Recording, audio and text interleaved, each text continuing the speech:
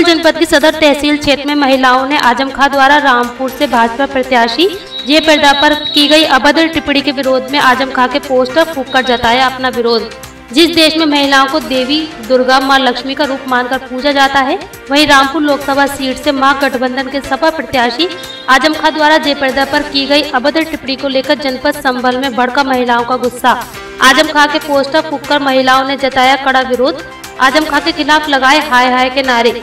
महिलाएँ बोली, नारी शक्ति का अपमान बर्दाश्त नहीं करेंगे। सदर कोतवाली के शिवाजी चौक का मामला।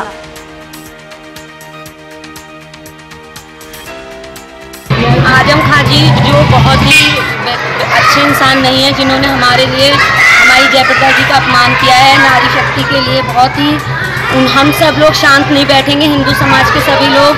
उन पर आज हम सब लोगों ने, इसीलिए उनका जो उन्होंने हमारी जयप्रदा जी के लिए अपमान करा है, उसके लिए हम सब आवाज़ उठाएँगे और हम सब नारी शक्ति मिलकर इसमें आगे बढ़कर उनकी बेजती करेंगे, उनका अपमान करेंगे। बस।